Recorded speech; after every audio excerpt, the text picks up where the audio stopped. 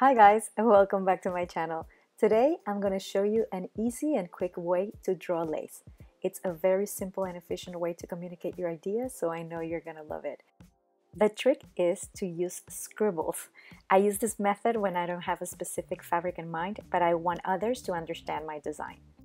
So as always I start with a rough sketch in black and once I'm done I open another layer and I draw my line art on top of it with a brownish color. Then I draw my design on a third layer. Because lace is transparent, I open another layer underneath this one to paint the whole body with a base color. Then I add shadows and highlights, but I try to make the skin under the dress more intense. Once I blend all these colors, I start drawing the lace. And as I said, all you need to do is scribble on top of your design. But before that, I add a transparent coat of black to the dress.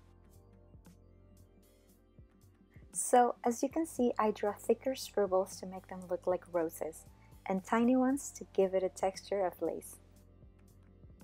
This technique is going to save you a lot of time and I recommend it when you're sketching or when you're working on a haul collection.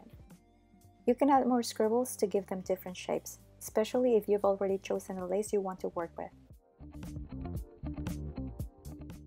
Once the lace is done, I add some shadows and details on the hemline. And voila!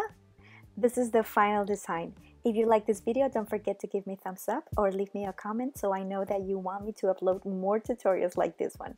Thank you so much for watching. Bye!